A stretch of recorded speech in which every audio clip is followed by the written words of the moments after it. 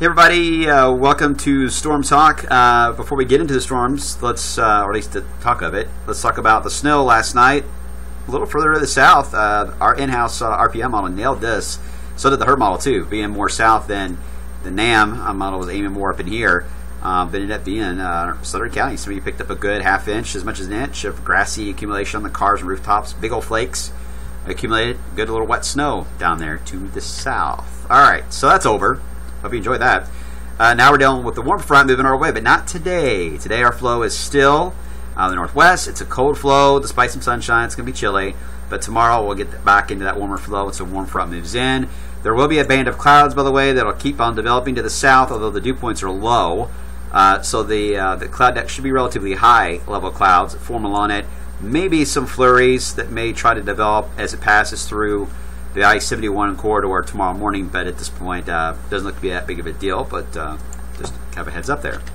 So let's talk about what's coming our way, not this weekend, but Monday to Tuesday. Monday, got a, a, decent south wind that should allow for what we call the warm air advection showers. Scattered light showers will be around. It's not going to rain all the time, and still quite warm. Then Tuesday, the front moves in. Now, the timing of the front still varying a bit on the models between morning, Tuesday afternoon. Overall, though, it looks to be more of a heavy rain threat than it does a severe weather threat. It doesn't mean we can't rule out severe weather at this point. It just means that if we had to weigh them out on options, heavy rain gets a higher uh, total there. Um, and then it moves on out of here by the time we get into uh, Wednesday. And here's the reason why. Here's your buildup of instability with the system um, as we head into uh, Tuesday this is where, the, if the Storm Prediction Center is going to outline any area for uh, the chance of severe weather in their outlooks, it'd probably be drawn in this general vicinity, so the Arklatex area, maybe into portions of Mississippi.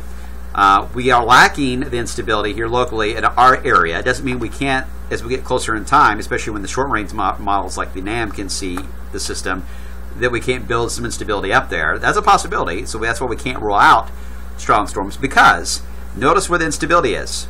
In the south, when you look at the wind shear, it's to the north, for the Ohio Valley. They, they are displaced. They are not in the same location. So confidence is relatively low in this being anything significant when it comes to severe weather. However, it's a lot easier to build instability in a high sheared area than it is to gain the shear where the high instability is. All right, so we can't rule it out because all it takes is a small amount, and then we may have a low end severe threat for Tuesday. But we uh, will just monitor it and see how it goes as we get closer. But at this point, again, does not look to be that big of an ordeal. Then we get into the fun that I've teased you about, probably unfairly, as we head into this uh, next weekend, which would be daylight saving weekend.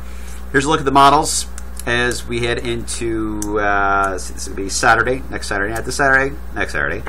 Here's the GFS, here's the Euro, and here is the Canadian um, operational and the ensembles here. Notice, just looking at the operationals, look at the difference. GFS is basically seeing a warm signal for our area for next Saturday. Euro has that, but has a very strong area of low pressure in our neck of the woods. And when you look at the ensembles, they, don't agree with what the Euro is showing, which is a little odd. Uh, well, not that odd, I guess, but to be that extreme of a difference in its own member, it's uh, unusual.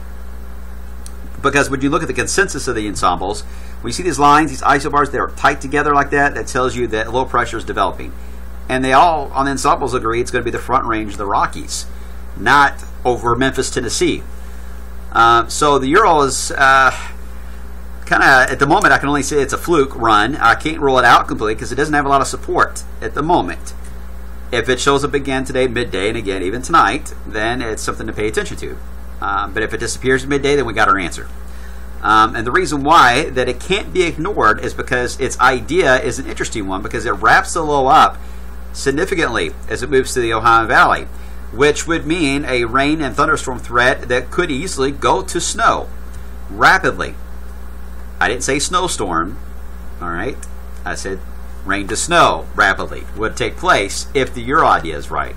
And what it's trying to do is when you look at the upper air pattern, here's a piece of the polar vortex in Canada. It's trying to develop the low in an area that is relatively close to the polar vortex. So when it gets wound up, it pulls it down. And you get a lot of uh, dynamic cooling. It will really kick in with that low pressure. So any rain that's still in the area can quickly go to a burst of snow and then end. It's not unheard of. When you look at the setup that the Euro has, it makes sense.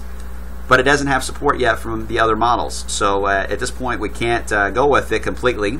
Uh, but it is something we will just have to pay attention to as we get closer in time. In fact, when you look at the ensemble of the Euro, as I mentioned, it uh, indicates that the low itself is not going to be forming over Memphis, but there will be one developing in the front range of the Rockies. So let's give this one some time in the oven, as I say, and uh, let's see how it all looks in the next uh, couple days and see whether or not we're still talking about it when I see you guys coming up on Monday. Have a good weekend.